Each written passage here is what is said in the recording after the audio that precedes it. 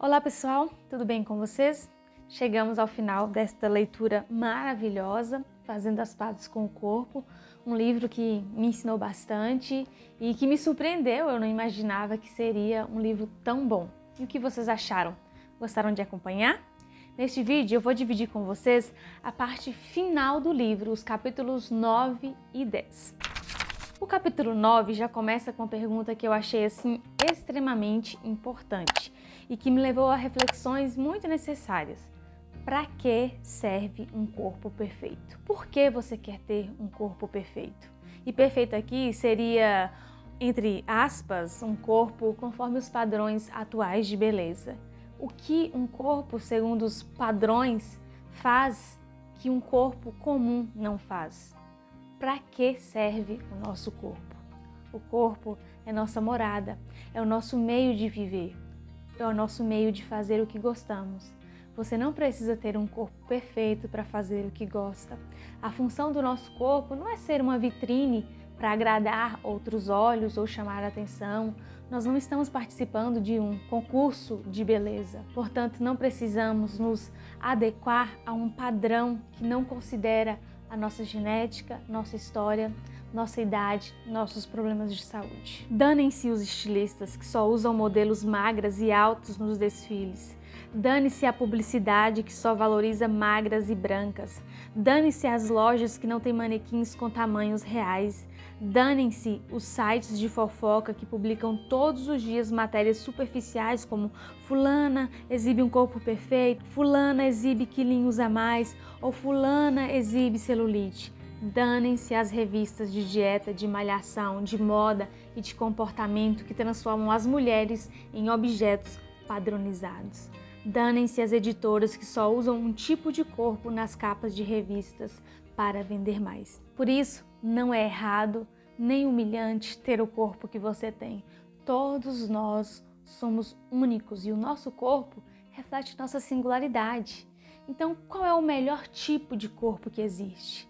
O melhor corpo que existe é o que você tem hoje, é o que tem as marcas da sua história, da sua trajetória, do tempo que você já passou nessa terra. O melhor corpo é o que te permite viver, correr atrás dos seus sonhos, abraçar os seus queridos. Esse é o melhor tipo de corpo que existe. Eu vi uma frase no Instagram da página Contente Você que diz o seguinte: você vai passar o que podem ser os melhores dias da sua vida odiando o seu corpo, apenas para no futuro querê-lo de volta. Rompa o ciclo, aproveite hoje. Já pensou? Mais para frente você vai sentir falta do corpo que você tem hoje. E se o seu corpo ou sua mente está doente, cuide de você, com amor, se você não se sente confortável com o seu corpo, alimente-se de coisas que vão te trazer saúde, movimente-se, descanse.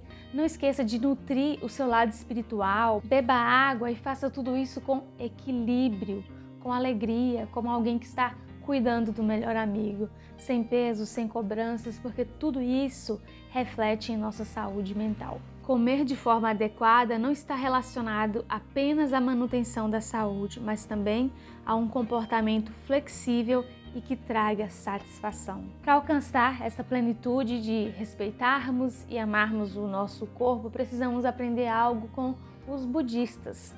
Você sabe o que é autocompaixão? Eu não estou falando de autopiedade ou comiseração.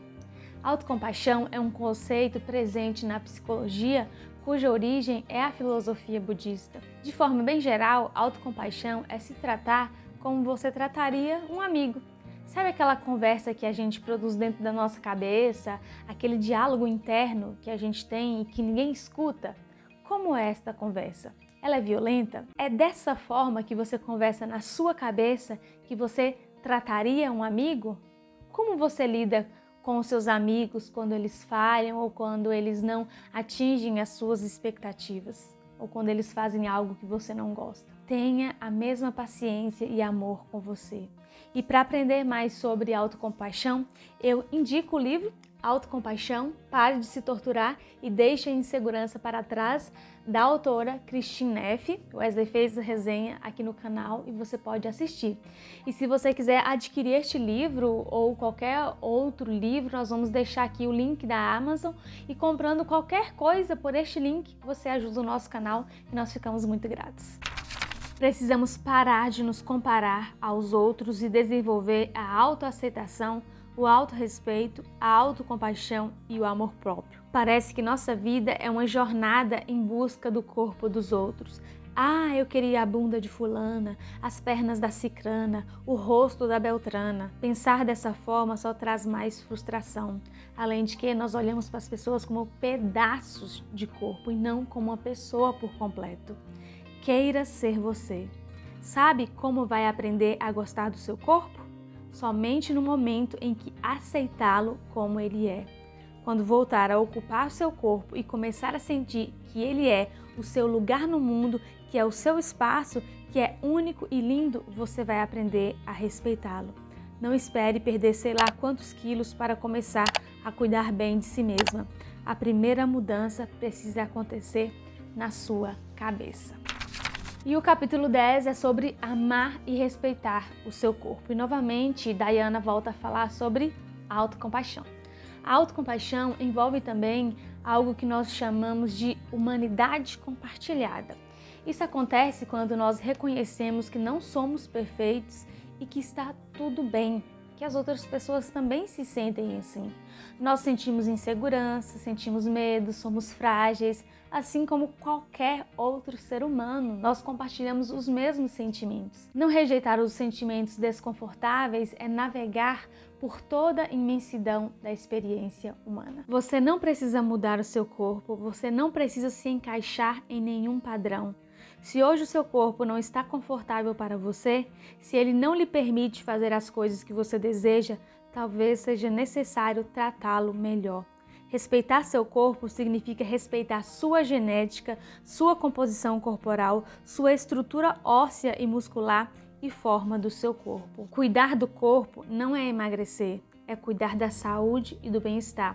Cuidar-se não é ter um corpo bonito para mostrar para os outros, mas para ter um corpo confortável para você morar. Sua única preocupação deve ser com seu bem-estar físico, mental e emocional. O que importa não é o olhar alheio, o que outras pessoas vão pensar sobre nossa aparência, e sim se nós temos saúde, se nós nos sentimos confortáveis.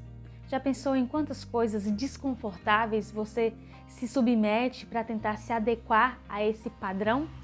Quantas roupas ou calçados desconfortáveis você usa só para parecer bela para os outros?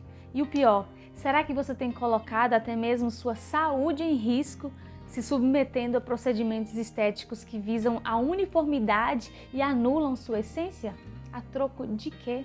Será que vale a pena? Precisamos entender que não há problema algum em estar fora do padrão, que nosso corpo não define o nosso valor como ser humano, que o peso é uma característica como qualquer outra e principalmente que não temos que nos sentir menos dignas, menos merecedoras de amor e menos importantes por causa do tamanho da nossa calça jeans.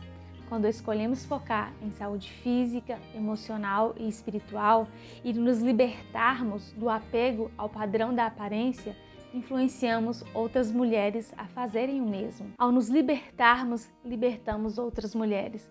Uma amiga minha usa o cabelo natural dela, que é ondulado, e meu cabelo quando eu era criança era bem lisinho. Aí depois da adolescência encheu de algumas ondas e eu comecei a detestar essas ondas, passar a chapinha, absorvi a mentalidade de que o cabelo tinha que ser sem frizz, sem ondas, perfeito para ser bonito.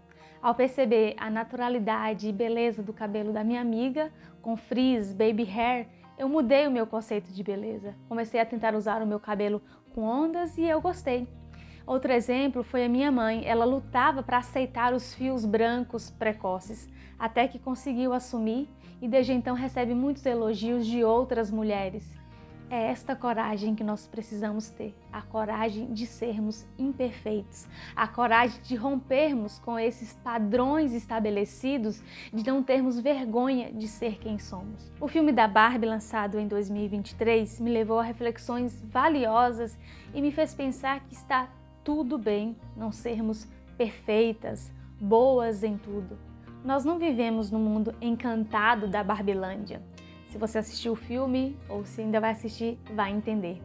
Nós vivemos no mundo real. A vida real é difícil. São muitas vozes tentando definir a vida da mulher, o que temos que vestir, como devemos nos portar, como nosso cabelo deve ser, que tipo de corpo feminino é o ideal. E para viver bem, nós precisamos ter ousadia para ignorar essas vozes, ter segurança em assumir o nosso próprio conceito de beleza e seguir focando no que realmente importa que é a nossa saúde mental. Eu acredito sim que a próxima revolução feminina vai começar a acontecer quando deixarmos de ser escravas de padrões, superarmos a vergonha e nos aceitarmos como somos. É uma revolução silenciosa que será feita dentro de casa, diante do espelho e no nosso coração. E ela vai explodir quando passarmos a exercitar a autocompaixão e a entender que somos perfeitamente imperfeitas, lindamente imperfeitas. Vamos lá, meninas. Vamos cuidar da nossa saúde, vamos vestir roupas confortáveis, vamos comer o que gostamos, vamos ousar respeitar e amar o corpo que nós temos. Comece hoje. Preste atenção nas coisas negativas e pejorativas que você fala sobre si mesma. Comece a ter autocompaixão se trate com amor e comece também a reparar se você critica, ainda que silenciosamente, a aparência de outras pessoas.